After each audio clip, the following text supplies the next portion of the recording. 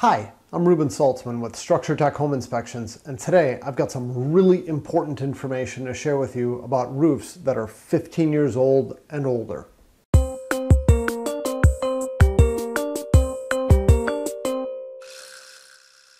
So I know I've been talking about this topic for a while now. I've been talking about hail damage and storm chasers and insurance claims and how jacked up our whole system is.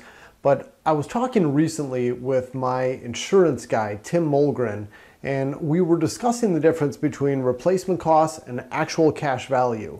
And I, I, touched on this at the, the end of my last video on this topic, but here's, here's the way it works. If you have replacement costs for your homeowner's insurance, it means that if you've got an old, dilapidated, broken down, busted up 21 year old roof, and you get a hailstorm that comes through, your insurance company will replace your entire roof. That's what we call winning a new roof. A good, good example my insurance guy gave is you're driving a 1999 Ford F-150 and you get in a crash and you total your truck.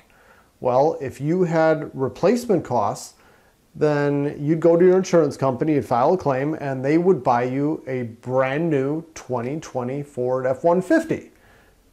Crazy, right? Well, that's what we have for replacement costs for roofs, for homeowners insurance. It's the same thing. So what, what insurance companies are moving toward is giving you actual cash value. And they're, they're sending out notices to people who have roofs that are 15 years old and older saying you are now only eligible for an actual cash value replacement for your roof, which basically means you're getting a prorated settlement. And it's not tough to understand. It's what you would get if you totaled an old car. You're going to get what the car is actually worth. You're not going to get a brand new car. So it, to me, it only makes sense. I'm glad we're doing this. Um, I'm not giving any value judgments. I'm just sharing my opinion on that. But what's, what's really interesting here is that lenders don't like this at all.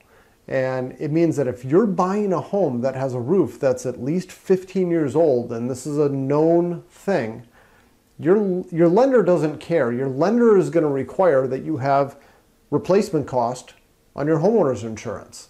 They want their assets protected. So what are you supposed to do? Because the lender requires replacement costs, the insurance carrier is probably going to say, we're going to give you actual cash value. And now you're kind of stuck in the middle. Well, the solution there is you need to search out insurance carriers. You need to look for one who's going to give you the actual replacement cost. And you're going to need to do some shopping around and you should be prepared to pay through the nose for this. It costs a lot more money as it should. All right, and then the last thing a lot of people will ask us, what's the age of the roof? How do we determine the age of the roof? Is there some type of carbon dating you can do on the roof to determine the age? Or should we call a roofer and have them figured out? Nobody can tell you that for certain. There is no reliable method for determining the exact age of a roof.